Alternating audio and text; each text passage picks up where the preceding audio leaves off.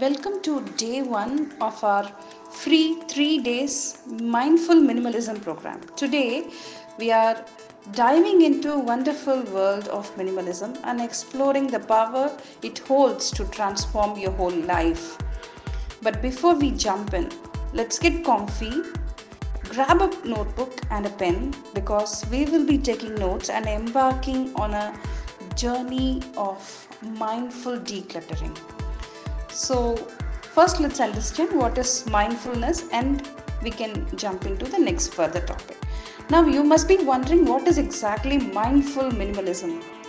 We keep talking about it. Well, break it down, and it's simply nothing but mindfulness is all about being present in the moment, focusing on what truly matters, and letting go of distractions.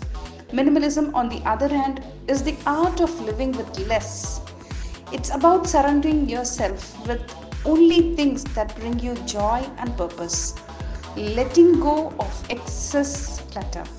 Imagine your mind as a cluttered room. It's hard to focus on anything when there is so much of stuff everywhere, right? Minimalism helps us declutter that mental space, allowing for more space, clarity, and peace so why you should uh, you know adapt to this lifestyle minimalistic mindful minimalistic lifestyle? You should find the spark right? So why? Here is the thing. Minimalism is a personal choice not a one size fit for all solution. It's about finding what works for you. Maybe you're feeling overwhelmed by clutter or maybe you simply want to simplify your life, whatever your reason. It is important to identify your why before diving in. I would like to give you a tip. Take a moment and do a small journaling activity here.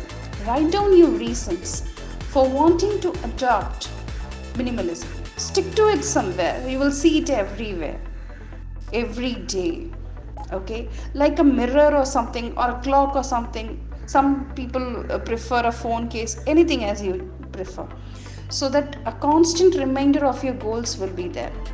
So what is the power of minimalistic lifestyle? Let's unveil the benefits okay? Now uh, studies have shown that minimalism can lead to a plethora of benefits in your everyday's life. Here are a few it is reducing stress in the first place. Imagine coming to home to a calm, clutter free space. Sounds pretty relaxing, right? Minimalism can significantly reduce stress levels by eliminating visual clutter and mental overload. Isn't that great? And next, it increases your focus. With less physical and mental clutter, it becomes easier to concentrate on what truly matters. Say goodbye to those constant distractions and say hello to laser focus. Minimalism can give you more time. Yes, less stuff means less time spent on cleaning, organizing, maintaining. Minimalism frees up your precious time for the things that you truly love. It helps you gain priority in the first place. Next, minimalism can help you boost your happiness. Remember that feeling of accomplishment after cleaning out a cluttered closet. Minimalism can bring that feeling to your entire life, leading to a sense of contentment and overall happiness. Isn't that great? Now, this is a very crucial part where we are going to say goodbye box, farewell telly time as our activity. Did you know that a simple change like saying goodbye to a television can be a powerful step towards minimalism. Think about it.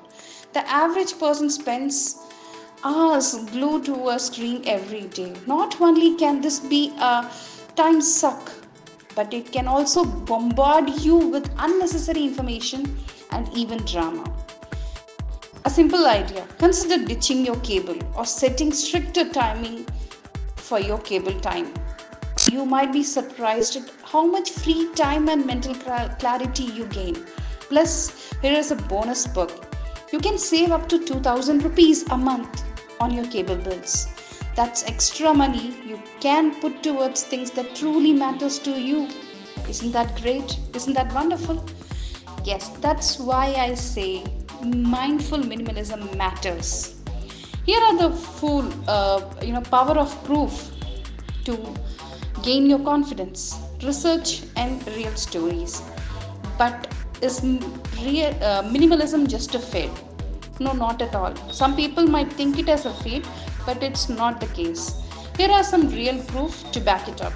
A survey conducted by the Minimalist Institute found that whopping 85% of participants reported feeling more fulfilled after adopting to minimalistic principles in their life. That's a significant number of people experiencing positive change. And it's not just statistics. I'm just going to give you a small story. Okay, it's about a lady called Sarah. Sarah was drowning in a sea of clutter in her apartment, feeling overwhelmed and stressed. She decided to give minimalism a try. She started small, decluttering her closet, donating clothes she no longer wore, and guess what? She felt a sense of liberation and clarity she hadn't experienced in years. Simplifying her space led to a sense of peace within. Isn't that great? Do you want a similar lifestyle for yourself as well? Well, here is a word of wisdom. As we wrap up this first day session, let's leave you with a thought that from the famous author Richard Bach the simplest things are moments in life. The simplest things that you really need has nothing to do with materialistic pleasures, but those are the things that are often truest. In his exact quotes, the simplest things are often the truest. Isn't that great? With that note, let me end today's story, today's session. And please uh, stay in this group even after completing this program because this group is going to be formed as a community for future references and connections do network with people for clarifying your doubts and clarifications in future. Thank you so much. Take care. Bye.